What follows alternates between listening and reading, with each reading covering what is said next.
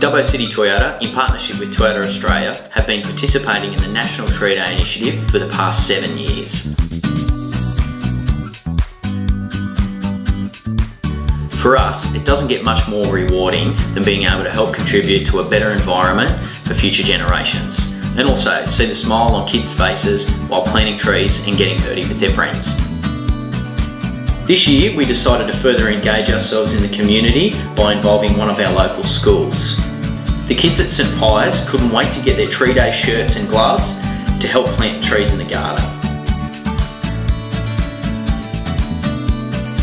With over 23 million trees planted nationally through the Tree Day initiative, we are proud to be a part of it and look forward to being involved again next year.